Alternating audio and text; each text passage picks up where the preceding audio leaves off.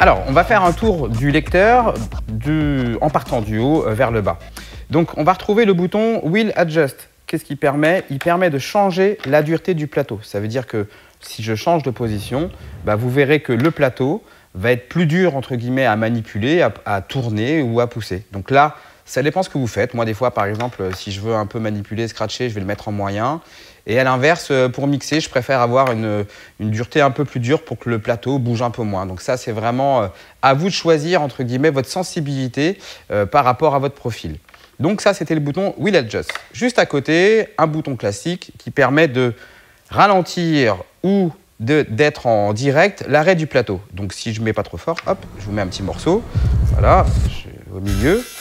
Bon, si c'est en fast, il s'arrête d'un coup. Et puis bien sûr, si je tourne au milieu, bah simplement le lecteur va s'arrêter progressivement. Pareil, à vous, effet artistique.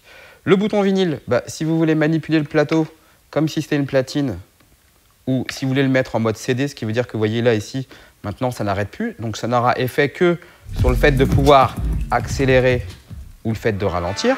D'accord? Donc ça, c'est pareil. Selon ce que vous faites, bah, ça peut être intéressant de, changer de mode.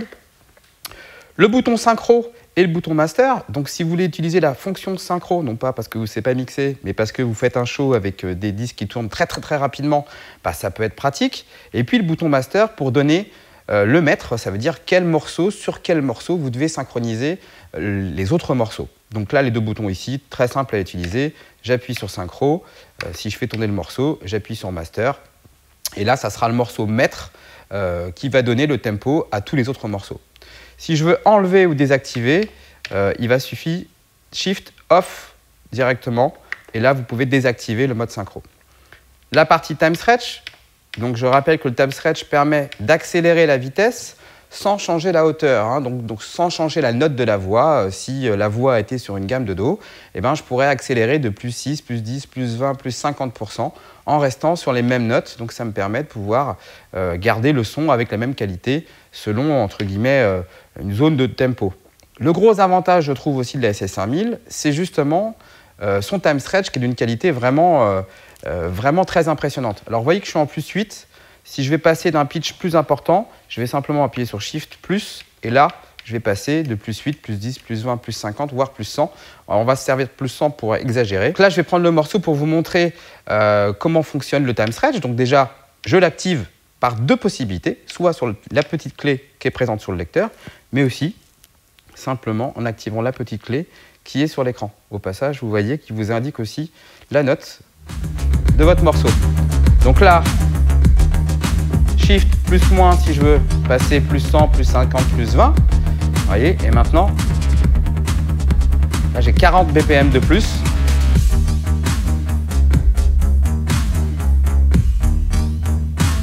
Vous voyez que là, j'ai 60 BPM de plus et ça reste vraiment, vraiment, vraiment très, très propre. Hein.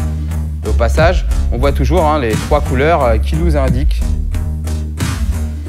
les différentes fréquences. Bien sûr, vous pouvez l'utiliser pour les deux players, le A et le B, de manière simultanée. Alors, à gauche, autoloop. Ben, autoloop, ça veut dire que le lecteur va, lui, de manière automatique, activer votre boucle. Par défaut, vous allez choisir sur quelle valeur est votre boucle. Ça veut dire quelle valeur? Un temps, deux temps, quatre temps, huit temps, 16 temps. Hein. donc du coup, la longueur de votre boucle. Donc là, il l'a fait de manière automatique. Et je vais pouvoir réduire ou augmenter la longueur de ma boucle simplement en tournant le bouton de gauche à droite. Donc, euh, et que ça réagit, il n'y a aucun problème. Je sors de ma boucle en appuyant sur le mode out.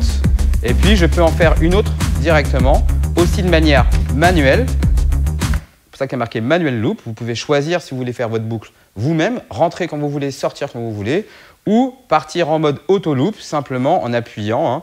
J'appuie, hop, il me crée directement la loupe. Alors, le mode sensor, c'est un effet. Vous voyez, je vais partir un peu plus loin dans le morceau. Hop, je vais me mettre au milieu, voilà. Et le sensor me fait une lecture croisée entre le morceau et la vitesse en arrière. Si je veux le jouer en reverse, je vais simplement appuyer sur Shift et je vais pouvoir le jouer en arrière.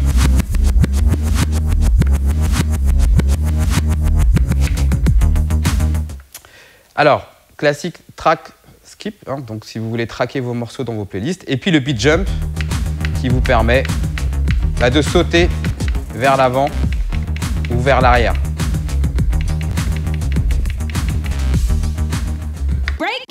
To the beat.